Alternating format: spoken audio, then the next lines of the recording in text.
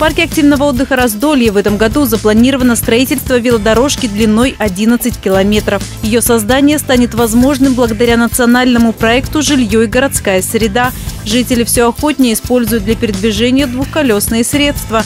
После самоизоляции велосипеды и самокаты стали популярнее общественного транспорта.